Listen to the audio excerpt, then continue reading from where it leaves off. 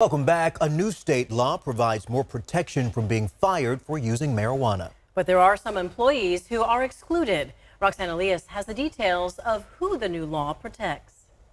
Starting this new year, new cannabis laws are protecting employees who rely on marijuana for a number of reasons. I have ADHD. I was on a uh, stimulant for about 15 years, so I decided to get off of it about two, two and a half years ago, and I found out that marijuana helps like shut my brain down at night. The new laws mean California employers are barred from asking workers about their use of cannabis outside of work. What they did in AB 2188 is they said employers in hiring, firing, or in penalizing employees cannot discriminate based upon outside of work cannabis use. Chris Micheli is an adjunct professor at the McGeorge School of Law. He says the bill attempts to strike a balance between workers being able to utilize marijuana for recreational purposes while keeping the employer's interest of ensuring workers are not impaired at their work site or the office. The second item that AB 2188 makes unlawful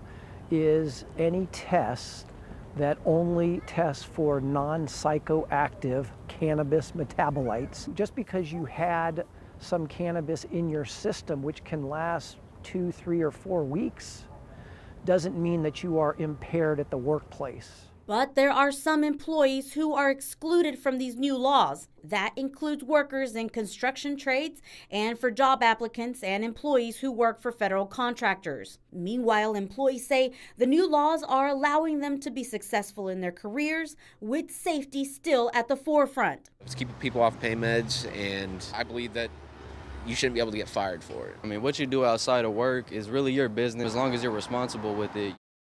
That was our Roxanne Elias reporting.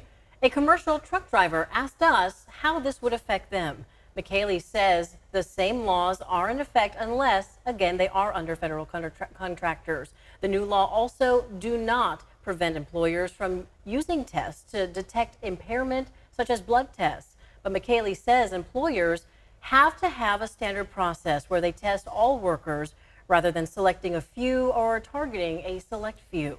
For a list of other new laws now in effect, just head to our website, abc10.com.